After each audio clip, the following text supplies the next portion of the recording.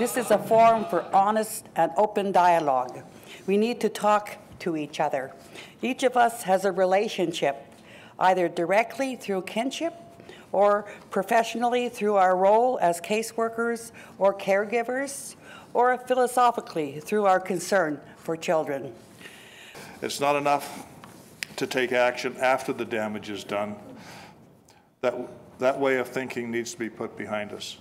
As a board, we are pleased with the emphasis on prevention, helping families become strong and reducing the need for more intrusive intervention. I'm glad that we're here and uh, this is a learning experience, I'm sure, for all of us. Uh, the ability for us to come together and, you know, correct our mistakes as we go along in life is nothing new. So I appreciate the, uh, the fact that uh, you are uh, recognizing and acknowledging, our uh, traditions and our, our culture. I'm really pleased that we have so many frontline workers here. And part of the intent was to have the conversation with so many of us in the same room, whether it's frontline workers or board members or DFNA reps or other Aboriginal staff, such as the MNA or any of the contracted agencies that we work with. We wanted to have the conversations together. I'm pleased to see that th this forum really is all about uh, how we are all connected to each other, how we're connected to our environment and, and our future. And it's essential as we go forward with transformation of social policy in Alberta, we need to understand how we are connected. And we need to understand how knowledge and wisdom will allow us to be successful as we do move forward. And we need to examine how we can build on our relationships and focus on maintaining the cultural roots in our child welfare system. I want to tell uh, the people that work hard for the common good of our children, the people that have taken on our children in their homes, I want to thank you very much for that.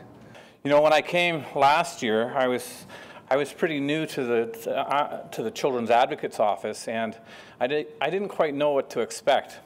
So I came into the room and I was nervous and I didn't know anybody and I felt pretty out of place for a little while. And uh, what a difference a year makes.